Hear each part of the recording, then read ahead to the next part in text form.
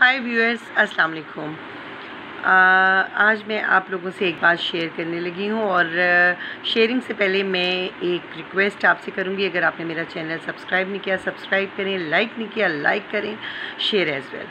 और वो ये कि अपनी ज़िंदगी में ऐसे लोगों को शामिल कर लें, ऐसे लोगों को दोस्त बना लें, जो आपके अंदर का अच्छापन रिपीट करते हैं, बताते हैं।